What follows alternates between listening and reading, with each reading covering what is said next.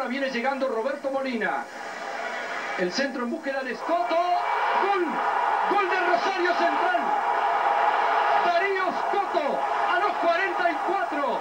El centro de Molina, el cabezazo impecable, perfecto, ortodoxo de Darío Scotto y Rosario Central.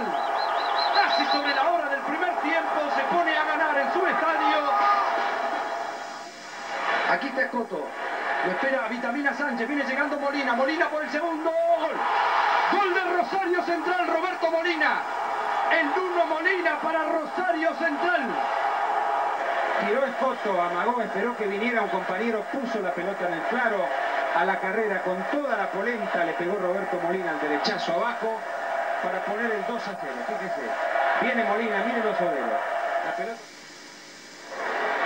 Resuelve Ordóñez. Y va Belloso. Y está bien habilitado porque arrancó en su campo. Se viene el tercero de central. No hay nadie. Gol de Rosario Central. Gol de Rosario Central Gonzalo Belloso. A los 41. Rosario Central 3.